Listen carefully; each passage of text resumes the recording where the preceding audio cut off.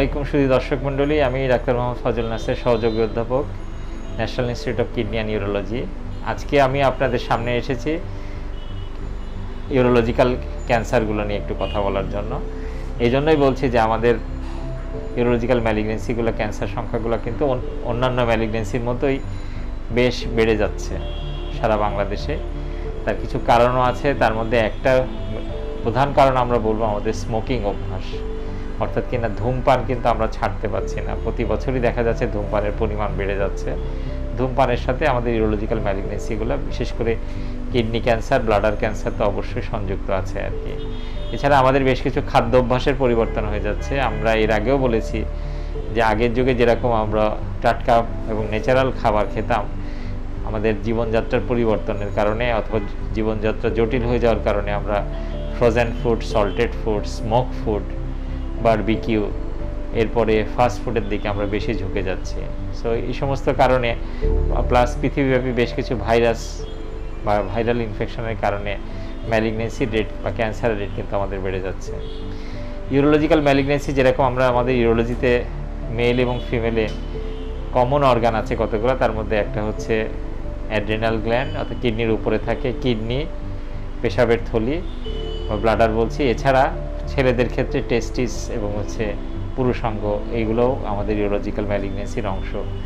তো এর মধ্যে কিডনি ক্যান্সার এবং ব্লাডার ক্যান্সার এবং প্রস্টেট ক্যান্সার এই তিনটা ক্যান্সারই কিন্তু ঊর্ধ্বগতি। যেখানে দেখ, উন্নত বিশ্বে ওদের মনিটরিং এবং স্ক্রিনিং প্রোগ্রাম ভালো হয়ে যাওয়াতে এগুলো কিন্তু আগের চাইতে এখন নিম্ন গতির দিকে। ডিটেকশন কিন্তু আমাদের দিকে যেহেতু আমরা একটা মধ্যমায়ের দেশে যাচ্ছি, আমাদের জনগণের স্বাস্থ্য সচেতনতা বৃদ্ধি হচ্ছে, প্লাস সেবা ক্রয় করার ক্ষমতা বাড়ছে, সেই সমস্ত কারণে এটা ডিটেকশন রেট কিন্তু বেড়ে যাচ্ছে। তো এক্ষেত্রের মধ্যে এক ইউরোলজিক্যাল ম্যালিগনেন্সি খারাপ দিক হচ্ছে, সহজে এটা কিন্তু ধরা পড়ে না, অ্যাডভান্স অবস্থায় ছাড়া। অর্থাৎ সাধারণত কোনো সিমটম দেয় না। এই জন্য আমি বলব যে প্রতি বছরে আপনার বয়স যদি তিরিশ বছর পার হয়ে যায় প্রতি বছরে না হোক, অন্তত দুই তিন বছর পর পরে একটা পেটের একটা আলট্রাসোনোগ্রাম আপনারা করবেন। একটা লক্ষণ দেখা যায় মাঝে মধ্যে, সেটা হচ্ছে যে পেশাবের সাথে অনেক সময় রক্ত যায়। তো পেশাবের সাথে যদি রক্ত যায়, তাহলে যদি এক ফোঁটাও রক্ত যায়, আমি আবারও বলছি, যদি পেশাবের সাথে কখনো আপনারা এক ফোঁটাও রক্ত যায়, অর্থাৎ পেশাবের রঙটা একটু লাল হয়ে গেল, কেমন লাল? তরমুজের পানি ধোয়ার মতো লাল হতে পারে, মাছের পানি ধোয়ার মতো লাল হতে পারে, এরকম যদি থাকে, তাহলে দেরি করবেন না। অবশ্যই আপনি চিকিৎসাকে শরণাপন্ন হবেন এবং কেন ওই রক্তটা গেল, এটা কারণ খুঁজে শেষ পর্যন্ত বের করে দিতে হবে করতে হবে। এটা অনেক সময় হিডেন ম্যালিগনেন্সি বা লুকায়িত ক্যান্সারের কিন্তু লক্ষণ বহন করে। তো ব্লাড যদি এতে হয়, বিশেষ করে পুরুষের ক্ষেত্রে, যারা অনেক সময় কৃষি কাজ করছেন যারা স্মোক করেন যারা ইন্ডাস্ট্রিতে কাজ করে, এদের কিন্তু ব্লাডার ক্যান্সারের চান্স অনেক বেশি। বিশেষ করে থার্টি ফাইভ ফর্টি ইয়ার্সে আমরা দেখি। এবং এরা ইগনোর করে, নিজেদেরকে মনে করে যে একটু রক্ত হয়তো বা রোদ্রে অনেকক্ষণ কাজ করেছে, যে আমার শরীর কড়া হয়ে গেছে ব্লাড যেতেই পারে।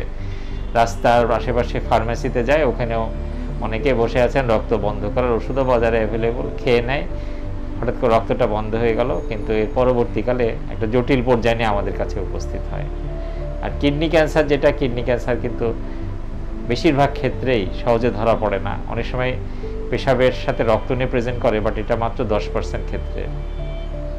অনেক সময় আমাদের কাছে বড় চাকা নিয়ে সেই বলে যে রক্তের মধ্যে, পেটের মধ্যে চাকা আছে। তো যখন পেটের মধ্যে চাকা পাওয়া যায় অলরেডি কিন্তু এটা অ্যাডভান্স স্টেজ তো আমার আজকে বলার উদ্দেশ্য এটা যে আমাদের বিভিন্ন কারণে আমাদের এই সাবজেক্টের ইউরোলজিক্যাল ম্যালিগনেন্সি বেড়ে যাচ্ছে এবং এটা আর্লি ডিটেকশন যদি আমরা করতে পারি, তাড়াতাড়ি যদি আমরা এটাকে ধরতে পারি এটার কিন্তু সার্ভাইভাল রেট খুব ভালো কিওর রেট খুব ভালো। কিন্তু অ্যাডভান্স হয়ে গেলে তখন খুব বেশি কিছু করার থাকে না অনেক ক্ষেত্রে। কাজে আপনারা সচেতন হন, একটা সুস্থ লাইফ লিড করেন। যতটা পারা যায় টাটকা খাবার খাবেন সল্টেড খাবার ফ্রোজেন খাবার, যতটা পারা যায় এবং ফাস্ট ফুড অ্যাভয়েড করে চলবেন। আর প্রতি বছর, কারণ আপনার স্বাস্থ্যটা, আপনি আপনার লাইফটা একবারের জন্য আপনার স্বাস্থ্যই হচ্ছে আপনার সবচেয়ে বড় সম্পদ। স্বাস্থ্য একবার নষ্ট হয়ে গেলে টাকা, পয়সা, ধন সম্পদের এগুলোর আসলে ভ্যালুটা খুব কমে যায়। এই জন্য আপনারা প্রতি বছর না হোক, অন্তত দুই, তিন বছর পর পরে বয়স তিরিশ পার হয়ে গেলে এই পরীক্ষাগুলো, অন্তত একটা আলট্রাসোনোগ্রাম একটা পেশাবের একটা রুটিন পরীক্ষা এটা করাবেন। তাতে করে দেখা যাবে যে অনেকেই অনেক রোগ থেকে রোগের ডিটেকশন হয়ে গেছে আর্লি এবং একটা সুস্থ জীবনযাপন করবেন।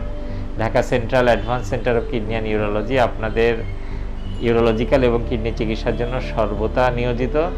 আপনাদের পাশে থাকতে পারলে আমরা নিজেদেরকে কৃতজ্ঞ মনে করব এবং এটা ইউরোলজির জন্য একটা আধুনিক centre, state of art technology যেটাকে বলে। কিডনির ইউরোলজির আধুনিক চিকিৎসার অনেক যন্ত্রপাতি কিন্তু আমাদের এই সেন্টারে সংযোজিত আছে এবং অনেকে এটা সেবা গ্রহণ করছেন। তো আপনাদেরকে সেবা করতে পারলে আমরা আবার কৃতজ্ঞ থাকব। এই কথা বলে আজকের মতো আমি শেষ করছি। ধন্যবাদ।